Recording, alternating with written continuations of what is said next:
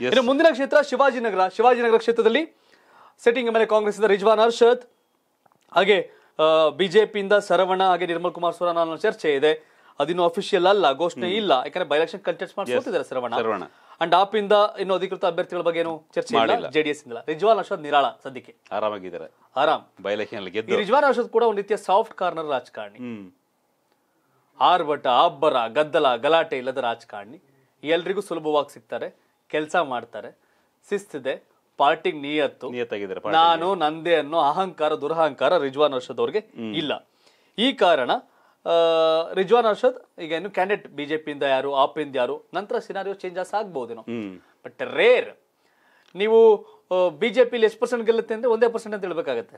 Ninety nine percent ಅಲ್ಲಿ ಒಂದೇ percent ಒಂದೇ ಪರ್ಸೆಂಟ್ ಬಟ್ ಕಾಂಗ್ರೆಸ್ ಗೆಲುವೆಷ್ಟು ನೈಂಟಿ ನೈನ್ ಪರ್ಸೆಂಟ್ 99% ಕಾಂಗ್ರೆಸ್ ಗೆಲ್ಲುತ್ತೆ ಅಂತ ಹೇಳ್ಬೋದು. ಸೊ ಹಾಗಾಗಿ ಇಲ್ಲಿ ಶಿವಾಜಿನಗರದಲ್ಲಿ ಕಾಂಗ್ರೆಸ್ನ ರಿಜ್ವಾನ್ ಅರ್ಷದ್ ಈ ಜೀನಿನ ಆಲ್ಮೋಸ್ಟ್ ಒಂದು ವರ್ಷದಿಂದ ಯೂಸ್ ಮಾಡ್ತಾ ಇದ್ದೀನಿ ನಾನು. ಹೆಲ್ತ್ ವೈಸ್ ತುಂಬಾನೇ ಅನುಕೂಲ ಆಗಿದೆ ನನಗೆ. ಲೈಕ್ ಮಾರ್ನಿಂಗ್ ನಾನು ಬ್ರೇಕ್ಫಾಸ್ಟಲ್ಲಿ ಇದು ತೊಗೊತೀನಿ. ಬಾಡಿ ತುಂಬಾ ನಂಗೆ ಹೆಲ್ದಿ ಅನ್ಸ್ಬಿಟ್ಟಿದೆ. ಯಾವ ರೀತಿಯಲ್ಲೂ ನಂಗೆ ಯಾವುದೇ ತೊಂದರೆ ಆಗಿಲ್ಲ ಇದು. ಮತ್ತೆ ಈವ್ನಿಂಗ್ ಸಹ ತೊಗೊತೀನಿ. ಹೊಟ್ಟೆ ತುಂಬುತ್ತೆ ಮತ್ತೆ ಯಾವುದೇ ರೀತಿ ನಂಗೆ ಗ್ಯಾಸ್ಟ್ರಿಕ್ ಆಗಲಿ ಅಥವಾ ಬೇರೆ ಏನು ಪ್ರಾಬ್ಲಮ್ ಇದೆಯೋ ಅದು ಯಾವುದೂ ಇಲ್ಲ ಇವಾಗ.